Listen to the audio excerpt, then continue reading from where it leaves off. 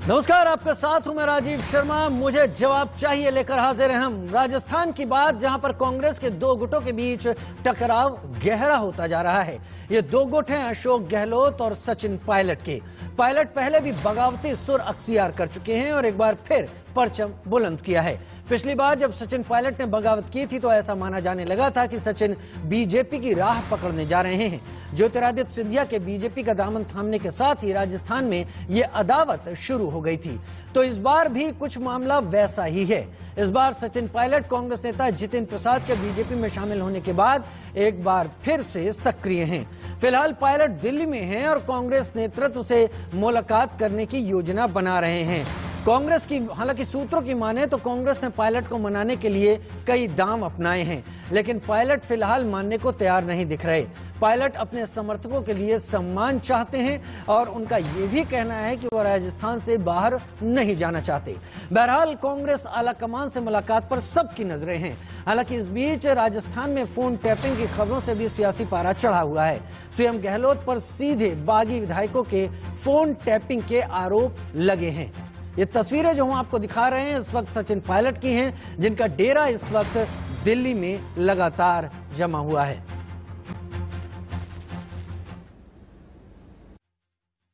किसी का भी फ़ोन टेप नहीं करती है। ये हमारा चरित्र नहीं है। राजस्थान की सरकार को मॉडल स्टेट के रूप में कोरोना संकट में सबसे अच्छा काम करते हुए पूरे देश ने देखा। इस वक्त यदि कोई भी हमारा साथी, विधायक, परिवार का सदस्य यदि ये बात कहता है फ़ोन टेपिंग हो रही है तो उनको, उन विधायकों के, वो ये कह रहे हैं, मैंने जो उनका बयान सुना, उन्होंने कहा कि मेरा फ़ोन टेप नहीं हो रहा है, बाकी दो तीन एमएलए जिन्होंने मुझे कहा। उन एमएलए के नाम आपको सामने लाने चाहिए, आपको जाकर मुख्यमंत्री जी से मिलना चाहिए, मिलकर बात बतानी चाहिए। उनके नाम सामने आएँगे तो सच्चाई सामने आ जाएगी। किसी की कोई नाराज़गी नहीं है, सब बिल्कुल खुश हैं। पायलट हमारे नेता हैं, पूर्व प्रदेश अध्यक्ष हैं, कांग्रेस के दमदार नेता हैं। कहीं दिक्कत वाली बात कांग्रेस में है ही नहीं ये प्रश्न कैसे उठ रहे हैं। कोई नाराज़ है ही नहीं। कल ही मेरी बात हुई है। है कोई मेरे सामने मुझे लगा कि कई लोग बाहर खड़े रहते हैं कुछ चीज़ खड़े रहते हैं, मुझे लगा नहीं, लेकिन कोई इंटेलिजेंस के लोग हैं, कुछ तरह के लोग हैं। और न मुझे अभी तक ये भी पता है कि मेरा फ़ोन टेप हो रहा है या नहीं हो रहा। लेकिन कई विधायकों ने ज़रूर कहा है कि फ़ोन टेप हो रहे हैं।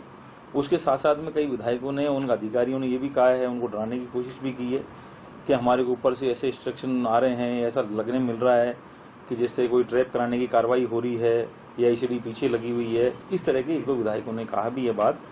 और ये बात खुद मुख्यमंत्री जी को जाके एक दो विधायकों ने कल बताई भी है?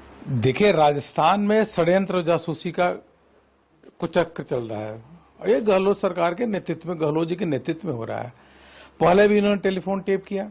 उसके बाद स्वयं गहलोत ने कहा कि मैं टेलीफोन टेप नहीं करता, मेरी आदत नहीं है, अगर ऐसा होगा तो मैं कुर्सी छोड़ दूँगा। बाद में गहलोत ही विधानसभा में कहे कि हाँ टेलीफोन टेप हुआ था। और ये टेलीफोन टेप कर रहे हैं। वास्तव में देखा जाए तो राजस्थान इसमें बहुत ही बुरे दौर से चल रहा है। वहीं केंद्रीय मंत्री गजेंद्र सिंह शेखावत का पूरे मामले पर क्या कहना है, आइए आपको सुनवाते हैं।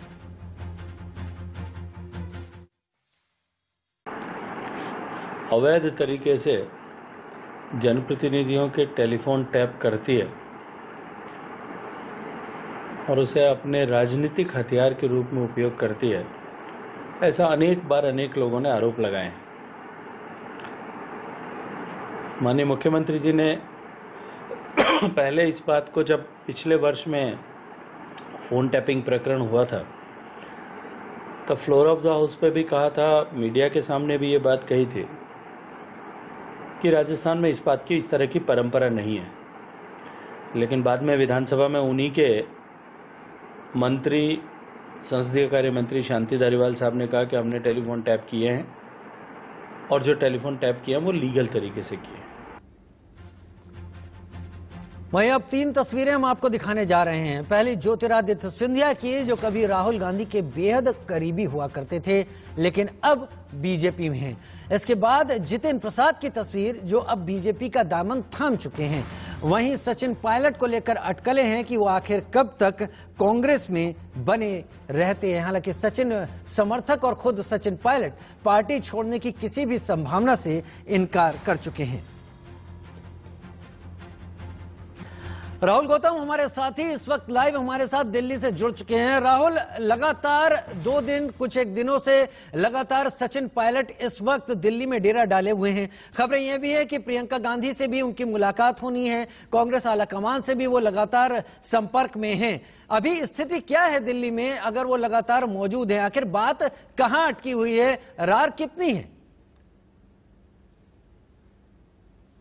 देखिए मैं आपको बता दूँ कि कल सचिन पायलट ने पत्रकारों से बात की थी। मैं भी वहाँ मौजूद था उन्होंने साफ़ तौर पर कहा कि मैं आ, मेरी कोई नाराज़गी नहीं है पार्टी के साथ में और जो भी कंसर्न है वो होपफुली जल्दी ही सुलझा लिए जाएँगे। इसके अलावा सूत्रों के मुताबिक जो जानकारी हमें मिली है उसके मुताबिक वो पूरे होपफुल हैं उनको पूरी उम्मीद है कि जो भी उनके ग्रीवांसेस हैं इश्यूज़ है उनको पार्टी जल्द सुलझा लिया जाएगा और शायद इसीलिए वो दिल्ली अकेले आए हैं ना कि अपने एमएलए के साथ ना ही पूरे दल बदल के साथ वहाँ पर आए हैं। उन, उनका सिर्फ़ ये कहना है कि जिस तरीके से पंजाब के अंदर चीज़ें स्पीडी मैनर में या बहुत जल्दी सुलझाई गई एक कमेटी बनाई गई कमेटी में सारे एमएलए को बुलाया मुख्यमंत्री तक को तलब किया गया और जल्द से जल्द एक रिपोर्ट बनाकर आला कमान को भेज दी गई। ऐसा ही तेज़ी उनके मामले में क्यों नहीं दिखाई जा रही है? आ, तो सिर्फ़ उनके इतने ही ग्रीवांसेज हैं। उन्होंने साफ़ तौर पर कहा कि वो पार्टी नहीं छोड़ रहे हैं। देखिए आप एक बात समझिए अगर वो पार्टी छोड़कर अगर छोड़ते भी है तो जाएँगे कहा?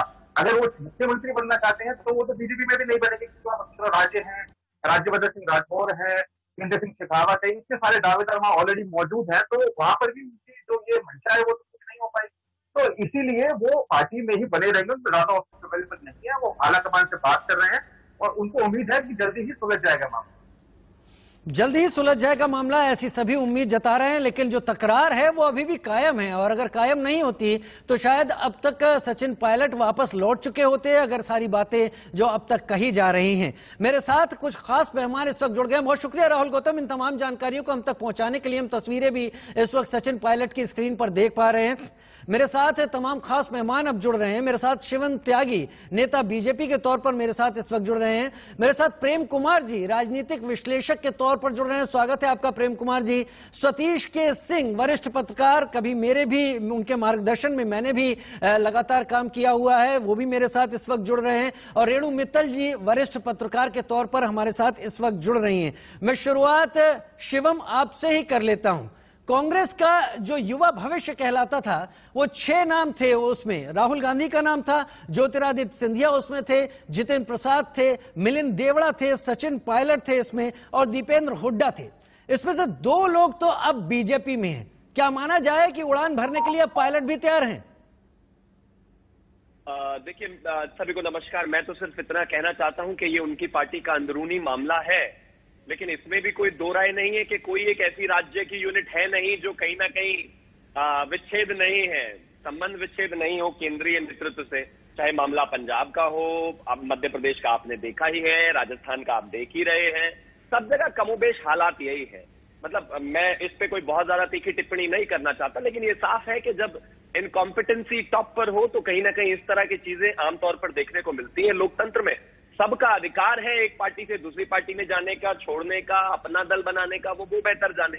लेकिन हाँ इतना ज़रूर है, जिस तरह से ये फ़ोन टैपिंग की चीज़ें निकल कर आती है, चाहे वो पिछली जुलाई का मामला हो, चाहे वो अब का मामला हो, ये कहीं ना कहीं अपने आप में देखा जाए तो गलत है। लोकतांत्रिक देश में ऐसा नहीं होना चाहिए। शिवम ठीक एक साल पीछे जाएँ। जब ये एपिसोड पिछली बार दोहराया गया था तब छीटे बीजेपी के ऊपर भी काफ़ी पड़े थे। लिहाजा इस बार इस बारे में सवाल पूछना ज़रूरी हो जाता है कि क्या उड़ान अगर पायलट उड़ान भरने के लिए तैयार है तो वो लैंडिंग स्टेशन बीजेपी हो सकता है या होने जा रहा है?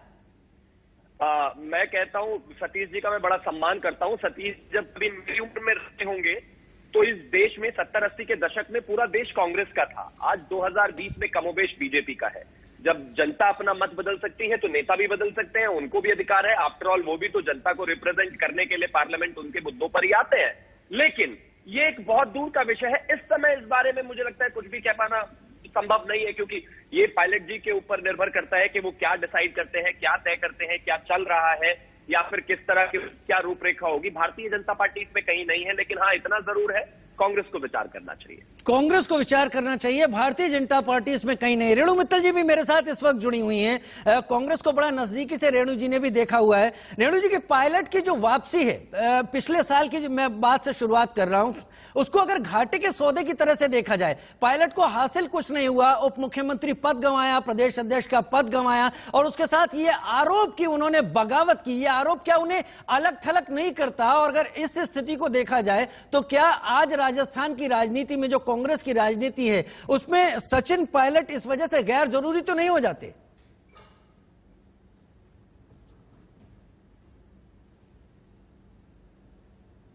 देखिए लास्ट ईयर की अगर बात करें तो उसमें दो चीज़ें हुई थी। एक तो जो सोनिया गांधी के बाद जो राहुल और प्रियंका जो उन्होंने जो रेणु जी आवाज़ आ रही है आप बोलें। उन्होंने उन्होंने वायदे किए सचिन पायलट को कहा कि नहीं वो क्योंकि मेरे को एको आ रही थी इसलिए मैं रुक गई थी। मैं अपने पीसीआर से कहूँगा कि वो इको को खत्म कर दें रेणु जी आप अपना जवाब देते रहे। बहुत ज़्यादा एको आ रही है। रेणु जी आप अपना ईपी हटाकर भी अपनी बात कह सकती हैं। एक एक क्रेडिबिलिटी का सवाल हो गया गांधी फैमिली को राहुल और प्रियंका। गांधी प्रियंका गांधी ने ये क्लियर कर दिया था कि हम तुमको इंसाफ देंगे, न्याय देंगे, तुम्हारे लोगों को हम मंत्रिमंडल में एडजस्ट करेंगे, पार्टी छोड़कर मत जाओ। तो सचिन पायलट ने उनकी बात पर विश्वास करके उनकी बात कही। आपको ये बात शायद पता हो या ना पता हो, अहमद पटेल, प्रियंका गांधी और सचिन पायलट के बीच में एक मीटिंग हुई, जिसमें एक बाकायदा रिटर्न एजेंडा ड्रॉप हुआ। टेन पॉइंट एजेंडा कि क्या क्या मिलेगा पायलट के लोगों को और कैसे ये इशू रिजॉल्व हो गया। उसके बाद 10-11 महीने हो गए, अहमद भाई नहीं रहे, पर बाकी लोग तो कमेटी के थे। कमेटी एक बार भी नहीं मिली।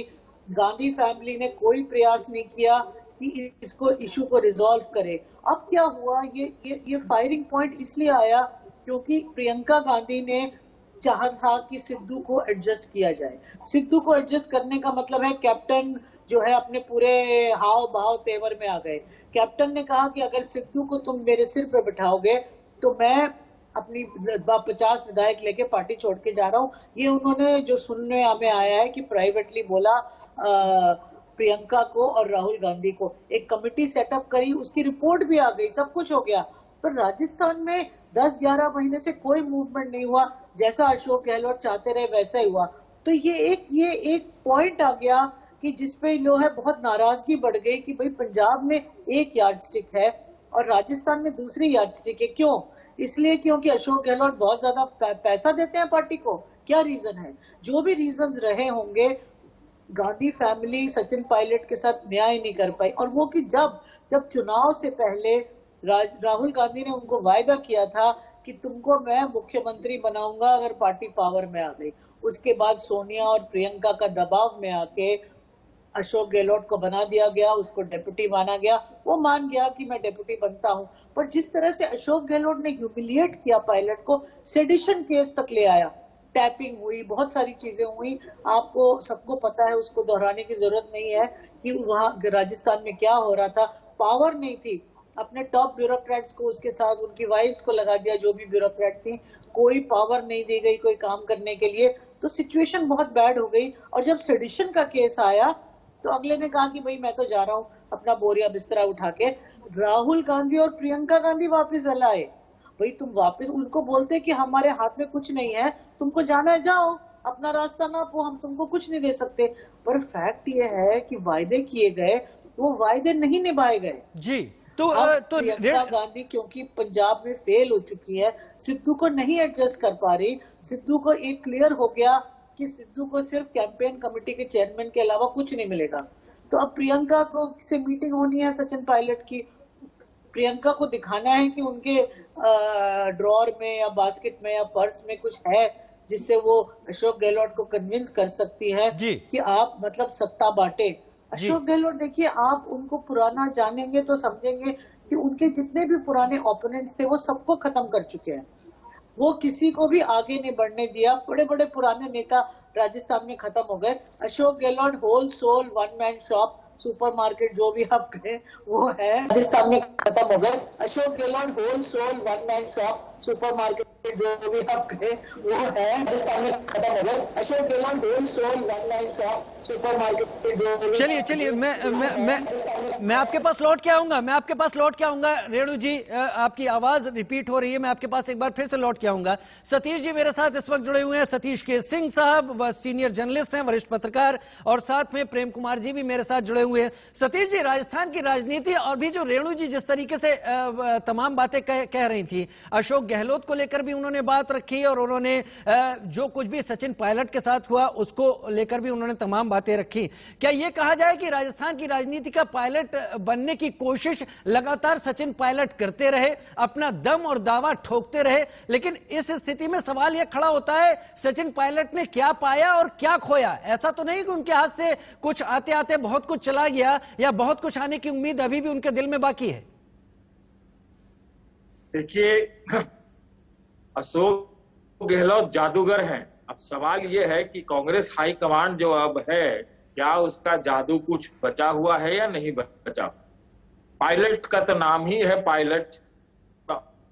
उम्मीद कहाँ से वो कोई छोड़ेंगे? और रेणु जी के अनुसार तो ये बात सही भी है कि अ, उनको बहुत कुछ कहा गया था।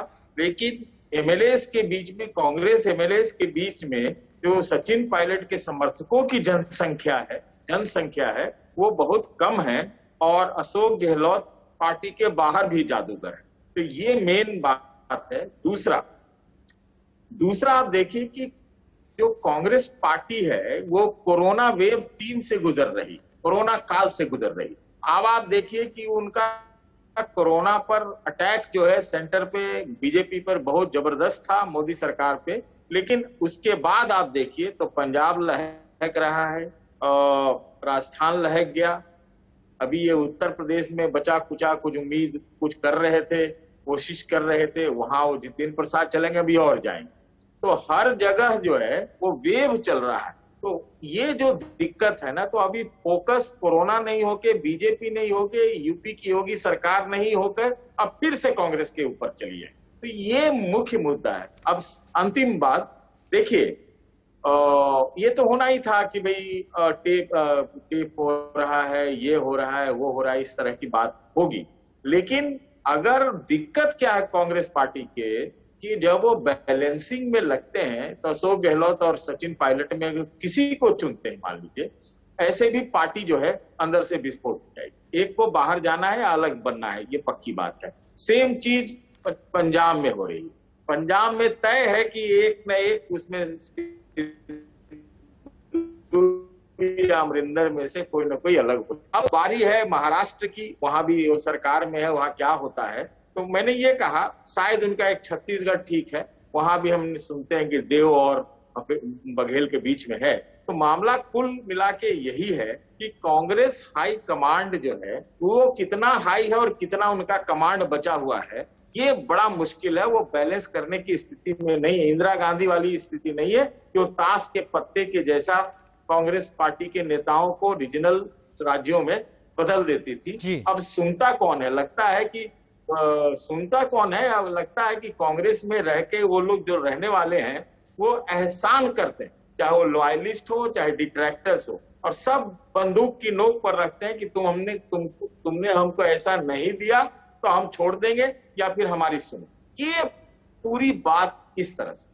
ये पूरी बात इस तरीके से। सतीश के सिंह जी बता रहे थे कि व्याख्या और सतीश के सिंह जी इशारा इस तरफ़ भी कर रहे थे कि ये जो चिंगारी लगी है, ये चिंगारी एक खांचे में सीमित नहीं है, चिंगारी कई अलग अलग पॉकेट्स में लगी हुई है। प्रेम कुमार जी मेरे साथ इस वक्त जुड़े हुए हैं। प्रेम कुमार जी, जब अगस्त 2020 में लगा था कि पटाक्षेप हो गया है, तमाम विवादों का जिस तरीके से पिछली बार स्थितियाँ उत्पन्न हुई थी, क्या ये माना जाए तब जो विश्लेषक कह रहे थे कि इस युद्ध विराम को या इस वापसी को युद्ध विराम या इसका खत्म होना एक तरीके से युद्ध विराम मान लेना एक जल्दबाजी होगी। क्या सचिन पायलट को भविष्य की कांग्रेस का एक रूप देखने की जगह, क्या उसे लूज करने की हिम्मत कांग्रेस में है अभी राजस्थान की राजनीति में? या हम उम्मीद करें कि वहाँ पर अभी ये आग और भड़केगी और इसके बाद जैसा सतीश जी कह रहे थे कि दोफाड़ होने के बाद ही शांत होगी। देखिए, राजीव जी, राजस्थान में जो अंदरूनी सियासत है कांग्रेस के भीतर, उसमें एक बात साफ़ है कि डेमोक्रेटिक ढांचे में समर्थन जो है अशोक गहलोत के साथ शुरू से रहा है। पार्टी का भी अपना एक वज़न होता है, जो जिसके साथ जुड़ जाती है तो उसके साथ एक वज़न आता है। लेकिन आज की तारीख में सचिन पायलट उस हिसाब से लगातार कमज़ोर पड़ते गए। और अशोक गहलोत ने इवन बीएसपी को अपने साथ जोड़ करके संख्या बल में थोड़ी और अपने आप को मजबूती प्रदान की है ताकि पायलट पायलट का अगर कोई दबाव बनता है तो उससे निपटा जा सके। तो ऐसी स्थिति में मूल बात क्या है? देखिए, पंजाब और राजस्थान में फ़र्क क्या है? पंजाब में नवजोत सिंह सिद्धू ने कैप्टन अमरिंदर सिंह के अधूरे वायदों को ध्यान में दिलाकर यानी जन सरोकार के मुद्दे को उठा करके वो राजनीति करते दिखे।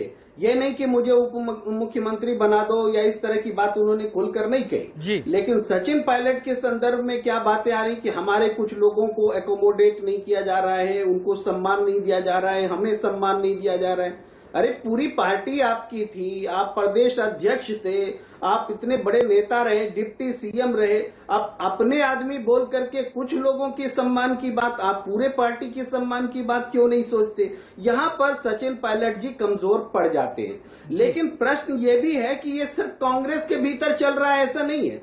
ये देखिए क्या भारतीय जनता पार्टी में ऐसा ऐसा नहीं हो रहा है? ठीक है प्रेम जी आपने प्रेम जी था कि प्रेम जी साल कैसे प्रेम जी जहाँ जहाँ आप प्रश्न प्रश्न एक जोड़ रहे हैं कि क्या ये कांग्रेस में ही चल रहा है? कांग्रेस के अलावा नहीं चल रहा है। मैं एक छोटा सा ब्रेक ले लूँ प्रेम जी लौट कर आऊँगा तो इसी इसी जगह से हम इस चर्चा को आगे बढ़ाएँगे कि सचिन पायलट जिस तरह की बगावती तेवर दिखा रहे हैं क्या तेवर सचिन पायलट और कांग्रेस में ही है या इसके साथ और कहीं भी? या फिर ये कि सचिन पायलट के ज़रिए बीजेपी कांग्रेस को राजनीतिक रूप से कमज़ोर करने की एक कोशिश में भी लगी हुई है। एक ब्रेक के बाद।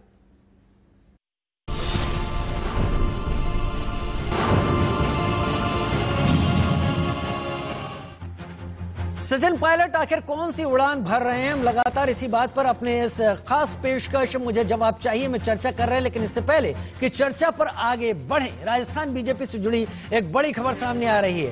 बीजेपी में भी अंदरूनी कलह की खबर सामने निकल कर आ रही है। नए पोस्टर से वसुंधरा राजे की तस्वीर गायब कर दी गई है। 20 साल में शायद पहली बार ऐसा हुआ है जब वसुंधरा राजे किसी पोस्टर से गायब दिखी हैं। भारतीय जनता पार्टी राजस्थान के इस पोस्टर से वसुंधरा राजे की तस्वीर नदारद है। ऐसा पहले कभी नहीं हुआ। हालाँकि ये पार्टी अपना विशेषाधिकार रखती है कि किसकी तस्वीर पोस्टर पे हो या किसकी ना हो, लेकिन जहाँ तक वसुंधरा राजे की बात है, कद्दावर नेता और पूर्व मुख्यमंत्री राजस्थान की रही हैं, उनका पोस्टर अब तक किसी भी राजस्थान बीजेपी के पोस्टर पर ना हो, ऐसा भी नहीं हुआ था। राजस्थान की राजनीति में इन दिनों पार्टियों में मनमुटाव की स्थिति साफ़ तौर पर देखने को मिल रही है। एक तरफ़ सत्ता पक्ष, यानी कि कांग्रेस में मनमुटाव की स्थिति देखने को मिल रही है, वहीं बीजेपी में भी दो गुट साफ़ तौर पर नज़र आ रहे हैं। इस वक्त मैं बीजेपी कार्यालय के बाहर हूँ, जहाँ आप देख सकते हैं, जहाँ बीजेपी कार्यालय के बाहर लगे पोस्टर से पूर्व मुख्यमंत्री वसुंधरा राजे का पोस्टर ही गायब है। हालाँकि ये पहली बार नहीं है, इससे पहले भी जो है पोस्टर में वसुंधरा राजे नदारद थी। हालाँकि जो मनमुटाव की स्थिति थी वो खुलकर बीते दिनों भी सामने आई थी जब राजस्थान से कांग्रेस की सरकार को खतरा था। उस वक्त दो गुट बन गए थे। उस वक्त भी कहीं ना कहीं वसुंधरा राजे पे आरोप लगाए गए थे कि वसुंधरा राजे जो है समर्थन कर रही है सत्ता पक्ष को। उसके बाद जो बीजेपी के राष्ट्रीय अध्यक्ष हैं, उनकी ओर से वसुंधरा राजे को बुलाया भी गया था। हालाँकि इसके बाद कहीं ना कहीं झालावाड़ में भी वसुंधरा राजे और उनके पुत्र सांसद दूसरे सिंह का गुमशुदगी का पोस्टर भी लगा था। हालाँकि पार्टी साफ़ तौर पर कहते हुए नज़र आ रही है। पार्टी के कार्यकर्ताओं और पदाधिकारियों में मतभेद हो सकता है, लेकिन मतभेद, मनभेद नहीं। लेकिन जिस तरह के हालात यहाँ राजस्थान की राजनीति में देख रहे हैं, को मिल रहे हैं, ये कुछ और ही बयां कर रहे हैं। अब देखने वाली बात होगी कि इस मनमुटाव को किस तरह बीजेपी समाप्त करती है और किस तरह आला कमान इसमें दखल देता है। कैमरा पर्सन गिरीश के साथ मैं बसंत, इंडिया न्यूज़, जयपुर। और हम लगातार चर्चा कर रहे हैं सचिन पायलट के बगावती सुर, जो कि एक साल पहले भी निकलकर सामने आए थे और आज फिर हावी हैं। कांग्रेस किस तरीके से से निपट रही है? क्या सचिन पायलट को भी जितिन प्रसाद या फिर ज्योतिरादित्य सिंधिया की तरह कांग्रेस लूज कर देगी? क्या होगा, क्या नहीं होगा? तमाम खास मेहमान हमारे साथ जुड़े हैं। शिवम त्यागी, नेता बीजेपी मेरे साथ जुड़े हुए हैं। प्रेम कुमार जी, राजनीतिक विश्लेषक के तौर पर जुड़े हुए हैं। सतीश के सिंह, वरिष्ठ पत्रकार हमारे साथ जुड़े हुए हैं इस वक्त। मैं प्रेम कुमार जी, आपके पास ही आना चाहूँगा। आप अपनी बात को पूरा कर रहे थे ब्रेक से पहले और आपका यह कहना था कि कांग्रेस में ही ऐसा नहीं है। ऐसा बीजेपी में भी है और बीजेपी भी इसी तरह की की परेशानियों से जूझ रही है। एक अभी बड़ी खबर के तौर पर हमने अभी सामने बात भी रखी। आप अपनी बात पूरी करें, सर। जी, बिल्कुल आप देखेंगे, अभी आपने जो खबर दिखाई एक समय था, यही नारा वहाँ बुलंद हुआ था, वसुंधरा तेरी खैर नहीं और मोदी तुझसे बैर नहीं। ये नारा पार्टी के अंदरूनी संघर्ष का ही परिणाम था, राजस्थान से ही उपजा था। आज भी येदुरप्पा जी को, देखिए, पार्टी अपनी जो लाइन थी, पचहत्तर साल वाली, उसको तोड़ करके बनाए रखने के लिए और तमाम असंतोष को बर्दाश्त करते हुए नेतृत्व मजबूर है येदुरप्पा के सामने, वो बदल नहीं पा रही है। तो इसका इसकी वजह ये नहीं है कि नेतृत्व कमज़ोर है। दरअसल टास्क होता है क्या वो सर, कर्नाटक सरकार के बदले उन असंतोष को बढ़ावा दे या बढ़ने दे? पहले पहले सरकार बचाना उनकी प्राथमिकता है राष्ट्रीय परिप्रेक्ष्य में। तो वो येदियुरप्पा को देख रहे हैं। उसी तरीके से राजस्थान में अशोक गहलोत सरकार जिसको जिसको हटने या हटाने का कोई कारण नहीं है नेतृत्व के पास में कि अशोक गहलोत को हटाया जाए। न न तो सचिन पायलट के पास ऐसी कोई वजह है कि वो बताएँ कि क्यों अशोक पायलट को अशोक गहलोत जी को हटाया जाना चाहिए। तो जब ऐसा कोई कारण नहीं है तो कुछ एक बातों को कुछ असंतोष की जो बातें हैं उसके लिए किसी सरकार की बलि नहीं दी जा सकती है। प्रेम जी। कांग्रेस नेतृत्व के पास भी ये बात है और ये बीजेपी के साथ भी ऐसी प्रेम जी प्रेम जी ये तो तलखी ये तलखी तो एक साल के अंदर इन दोनों नेताओं के बीच में ही आई है। इसकी ज़िम्मेदारी अगर दूसरी पार्टियों पर मर दी जाएगी तो कहीं बहुत हम असल वजह से बचने की भी कोशिश कर रहे हैं। ये तो कांग्रेस की पूरी तरह से अंदरूनी राजनीति और उसका घालमेल है जो इस रूप में सामने आ रहा है। देखिए, आपकी बात सही है। ये अशोक गहलोत के नेतृत्व की भी कमज़ोरी है कि वो सचिन पायलट को साथ लेकर नहीं चल रहे। और अगर ये मामला बढ़ा हुआ है, बना हुआ है और बना रहने वाला है, अगर ऐसी स्थिति है तो केंद्रीय नेतृत्व के पर भी सवाल उठेंगे कि आप एक मामले को सोल्व नहीं कर पा रहे ये आपका प्रश्न बिल्कुल जायज़ है। और ये सोल्व होना चाहिए सरकार के हित में, पार्टी के हित में और जनता के हित में। जनता आज देखिए, जो मुख्य प्रायोरिटी होनी चाहिए महामारी के समय में, उस प्रायोरिटी से हट करके अगर संगठनात्मक मुद्दों पर पार्टियाँ फंसी रहेंगी तो कहीं ना कहीं जनता के साथ में ये अन्याय होता है। तो ये नेतृत्व के सामने दबाव भी है और संकट भी है कि वो इस प्रॉब्लम को सोल्व करे। लेकिन जहाँ तक सचिन पायलट की बात है, सचिन पायलट जी कोई ऐसा, ऐसी बात नहीं रख पाए हैं कि उनको क्यों वो क्यों उनके असंतोष की? ये असंतोष क्या है? अपने लोगों को एकोमोडेट करना ये कोई असंतोष की बात है? आप जन मुद्दों को लेकर आते कि अशोक गहलोत सरकार कुछ नहीं कर पा रही है तो आलाकमान बोलती लेकिन फ़िलहाल तो आलाकमान की प्रायोरिटी उनको ही समझाने की होगी। अशोक गहलोत सरकार को अस्थिर करने की प्रायोरिटी इसी इसी नहीं हो सकती न होनी चाहिए। इसीलिए प्रेम जी इसीलिए हम यही बात यही बात तो चर्चा कर रहे हैं कि जन मुद्दे हैं नहीं। ये अपनी व्यक्तिगत महत्वाकांक्षाओं को साधने के तरीके और उनकी कोशिशें हैं। खैर, शिवम मेरे साथ इस वक्त जुड़े हुए हैं। नेता बीजेपी के तौर पर शिवम, पिछली बार जब ठीक एक साल पहले, जुलाई और अगस्त की बात थी, जब ये तमाम सारा का सारा बवाल कांग्रेस में, राजस्थान में खड़ा हुआ था तो गजेंद्र सिंह शेखावत के ऊपर कांग्रेस ने काफ़ी आरोप लगाए थे। तमाम कुछ ऑडियो भी रिलीज़ किए गए थे। खैर, हम इन बातों पर छोड़ देते हैं कि जो जो भी कांग्रेस आरोप लगा रही है। मेरा आपसे सीधा सा मानना है, अगर सचिन पायलट, और ये थोड़ा सा हाइपोथेटिकल भी है, आप जवाब दे सकते हैं इसका अगर सचिन पायलट तय करते हैं कि उन्हें कमल पर सवार होना है, क्या बीजेपी ज्योतिरादित्य सिंधिया और जितेंद्र प्रसाद की तरह उनका स्वागत करेगी, या फिर बीजेपी दूरी बनाए रखने में ही ज़्यादा बेहतर समझेगी, जैसे पिछली बार बीजेपी दूर रही?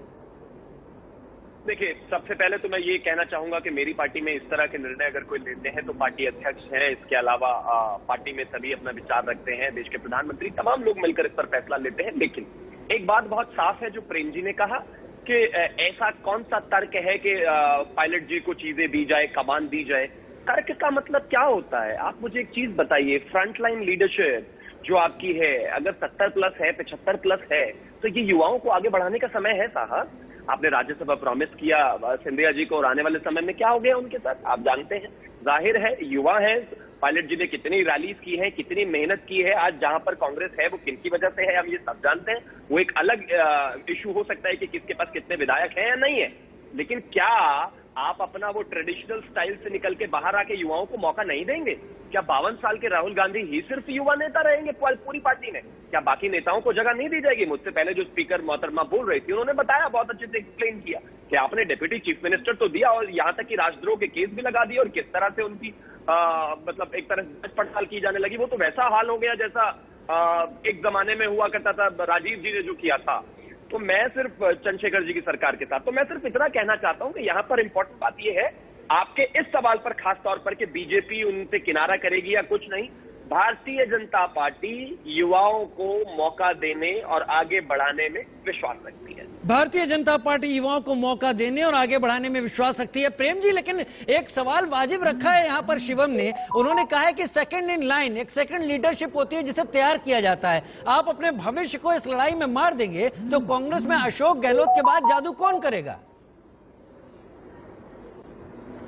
देखिए, प्रश्न सही आप देखते हैं कि क्रिकेट में जब कोई एक बहुत अच्छा परफॉर्मर होता है अच्छा खेल रहा होता है, लेकिन किसी वजह से उसकी जगह किसी और को मौका मिल जाता है और उसने और भी अच्छा परफॉर्म कर दिया तो पहले वाले को मौका नहीं मिल पाता इसके बावजूद की टीम की ज़िम्मेदारी होती है कि वो टीम को बनाए रखे, जोड़ के रखे। असल में हम किस, कोई अगर परफॉर्म कर रहा है। अगर अशोक गहलोत की सरकार परफॉर्म कर रही है तो उसको हटाने का या सरकार को डी एस्टेब्लिश करने का या अस्थिर बनाने का कोई भी आ, कारण नहीं बनता। और सचिन पायलट क्या राजनीति में इसीलिए आए कि मुख्यमंत्री बने?